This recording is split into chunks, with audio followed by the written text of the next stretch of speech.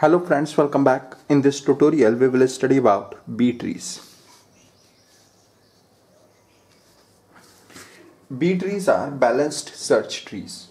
For each B tree, there is an integer t whose value is greater than or equal to 2 and uh, this integer is called the minimum degree of B tree. Every node of B tree other than root node must have at least t minus 1 number of keys and every node including root node may contain at most 2 into t minus 1 number of keys right? For example if the minimum degree of a b tree is 3 right?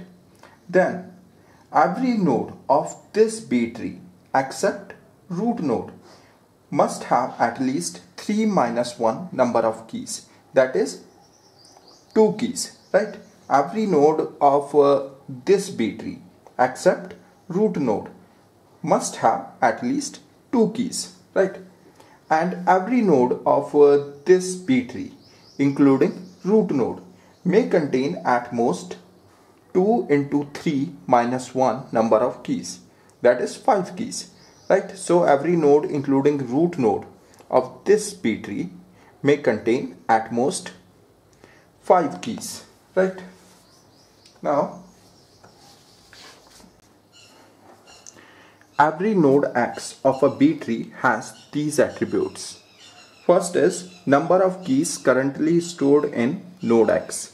Second is all keys themselves stored in node x right? In b tree. In nodes keys are stored in increasing order right? And uh, third is a boolean value. That is true if node x is a leaf and it is false if node x is not a leaf right? It is false if node x is an internal node right?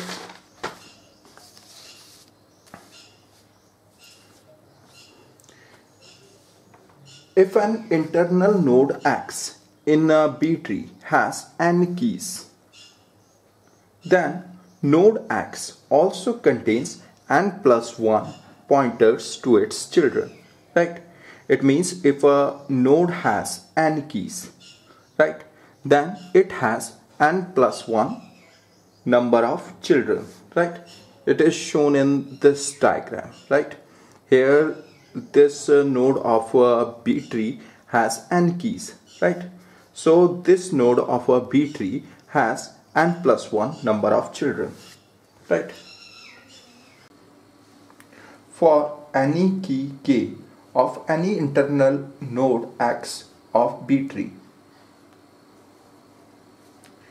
the subtree at the left of key k will contain keys whose values are less than or equal to the value of key k and subtree at the right of key k will contain keys whose value are greater than or equal to the value of key k. In B tree, all leaves have same depth, right? Now consider this B tree, right? It is a B tree. In it, all leaves have same depth, right? Now see, here this node of B tree has two keys. So this node of B tree has three children, right? And uh, this node of B tree has three keys. Therefore, this node of B tree has four children, right? Now see here, all leaves of uh, this B tree have same depth, right? And you can see that in any node. Keys are stored in increasing order right? Now see this node. In this node keys are stored in increasing order right